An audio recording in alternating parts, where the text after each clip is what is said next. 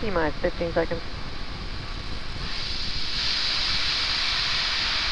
10, 9, 8, 7, 6, 5, 4, 3, 2, 1, 0. Ignition.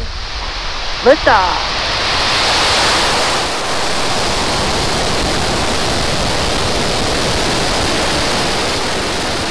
Falcon 9 fishing range.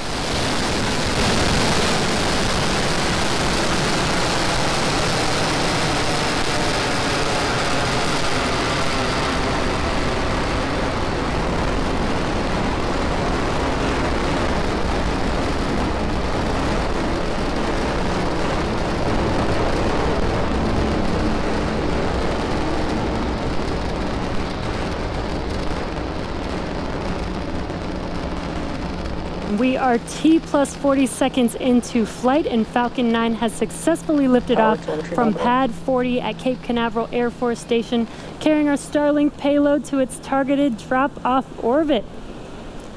Moments ago, we did throttle down our engines in preparation for Max Q, and that is the maximum aerodynamic pressure, which is the largest structural load that the vehicle will see.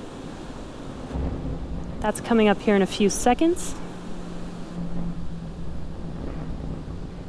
Max Q. And there's that call out that we have just passed through Max Q. In about a minute, we will have three events happening back to back. The first of which will be main engine cutoff or MECO.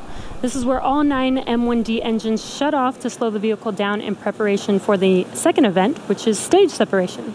Stage separation is where the first stage separates from the second stage, with the first stage first stage starting to make its way back to Earth for landing, and stage two continuing on its journey, with the third event called SES 1 or Second Engine Start 1. And that's where the MVAC engine lights up on the second stage and propels the second stage along with the Starlink satellites to its drop off orbit. orbit.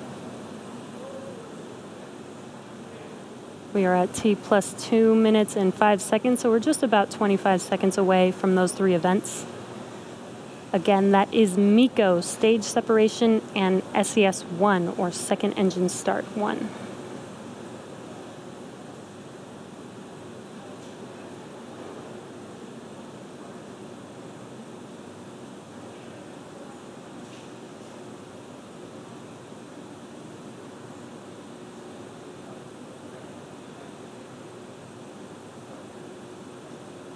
MECO. Stage separation confirmed.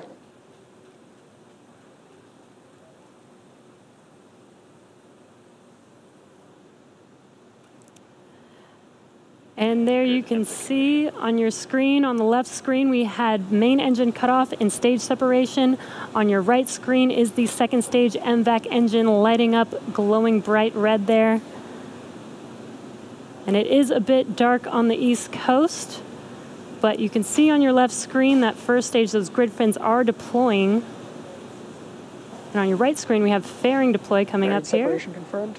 And there is that confirmation of fairing deploy. Now let's see if those fairing halves can be recovered by our recovery ships Ms. Tree and Mischief today. Stage 1 FTS has saved. Stage one entry burn has started. And there you hear that call out as well as a visual confirmation that those engines have reignited. Vehicle continues to follow a nominal trajectory. And stage one entry burn shut down. And confirmation that the stage one entry burn is complete, as well as stage two still looking nominal. If you heard that call out.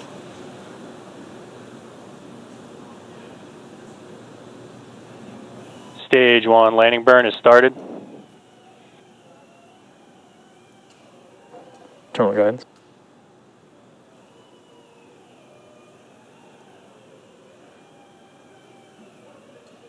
Landing legs have deployed. Stage 2 FTS has saved. And And wow, as you saw coming and down, JRTI, that we have a first stage, stage one landed. Falcon Landing 9 operators moving to procedure 11.100 on recovery one and DCF nine. amazing that first stage booster has landed for the first time, for the fifth time for a Falcon 9 booster. That is amazing. We're waiting for second stage engine cut off. What an amazing view of that first stage coming down, even though it, it, it was dark and night. But those engines lighting up the screen, watching first stage come down, was an amazing view.